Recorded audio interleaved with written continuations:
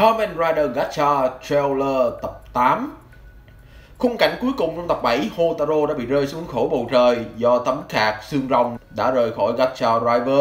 Anh đang rơi tự do xuống, nhưng tất nhiên là Hotaro sẽ có rất là nhiều cách để mà thoát khỏi trường hợp này. Không tính tới những người khác là những giả kim thuật sư có thể đón anh.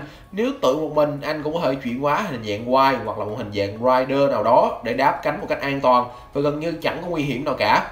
Tại sao Jamie Needle lại rời khỏi Gacha?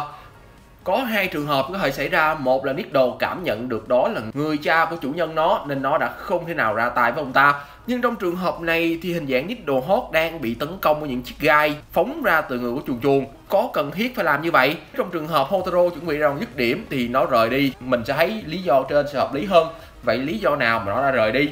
Có khả năng đây sẽ là tương khắc giữa những chiếc chemi cạc với nhau chiếc chemi cạc needle là từ thực vật nên sẽ bị khắc chế bởi sức mạnh từ côn trùng, nên nó mới sợ hãi như vậy. Liệu có phải đây là một yếu tố mới sẽ được đưa vào gacha hay không?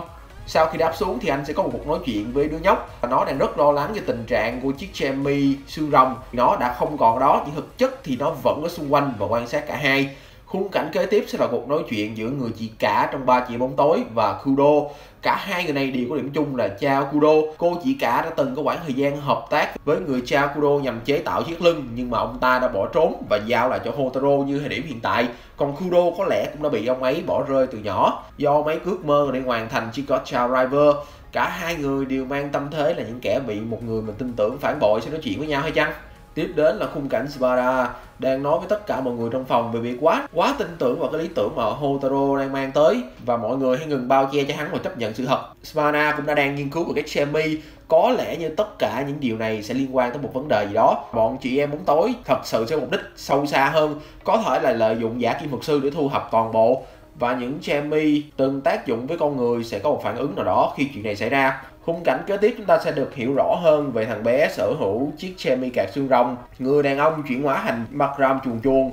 Ông ta khả năng chính là cha của đứa nhóc và không muốn bất kỳ ai cũng như bất kỳ điều gì làm phân tâm quá trình học tập của đứa bé, vì nghĩ nó là tương lai có lẽ như người vợ của ông ta đã có vấn đề gì đó nên đã không còn ở đây nữa, nên ông ta đã đặt hết niềm tin vào đứa trẻ và mong muốn nó sẽ trở thành một thiên tài nên là không cho nó bất kỳ mối quan hệ xung quanh nào, từ Jamie xương rồng cho tới cả Hotaro.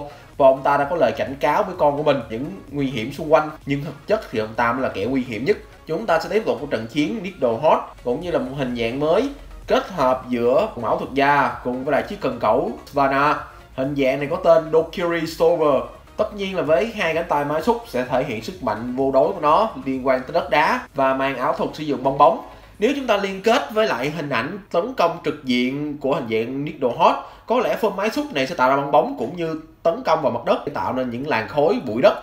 Từ chiếc máy xúc, sau đó sẽ lao với tốc độ Needle Hot để tấn công áp đảo tên chuông chuông và ngoài hắn ra, thì hai người chị em còn lại trong nhóm chị em bóng tối cũng tạo ra thêm một tên Makram khác hắn ta đang đối mặt với Svana ở hình dạng Vavarat tên này có vẻ sẽ là một tên cao cấp hơn khi với nụ cười của đám chị em bóng tối có lẽ như tên này sẽ được tên đặt niềm tin rất cao và nếu hắn đánh ngang được với Bana thì ngài hợp tác giữa Smana cùng với Hotaro có lẽ cũng đang rất rất gần kề và đó là toàn bộ ý của mình xoay quanh Kamen Rider Gacha Trailer 8 Chúng ta đã hoàn thành mục tiêu 10.000 subscriber. Cảm ơn các bạn rất nhiều vì đã ủng hộ kênh mình từ ngày đầu tới tận bây giờ.